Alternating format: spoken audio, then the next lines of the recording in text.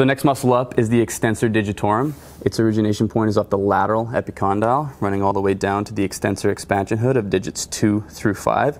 Its main action is going to be extension of the fingers, where he comes all the way up just like that.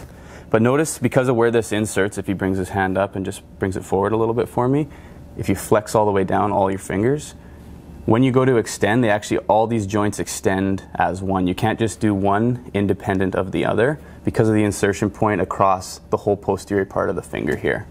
So again, to test that muscle, we're gonna bring his wrist and his fingers right back. And again, we know it does a bit of wrist extension, so I can check it this way. And then we also can check each finger independently. Bring me uh, into neutral here, hand forward a little bit, good. And then hold the finger straight, nice and strong. And then you can again check each finger separately. Good.